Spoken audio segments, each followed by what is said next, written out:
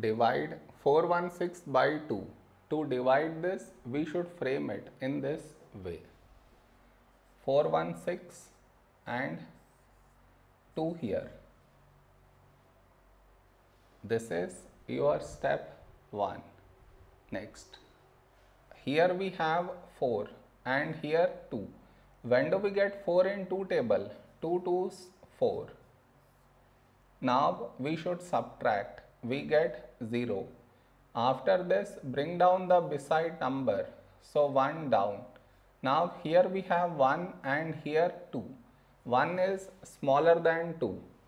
So we should bring down the second number. And the rule to bring down second number is we should put 0 here. Then only we can bring down this number. 6 down. Now 16, when do we get 16 in 2 table? 2 8s, 16. Now we should subtract, we get 0. So this is our quotient.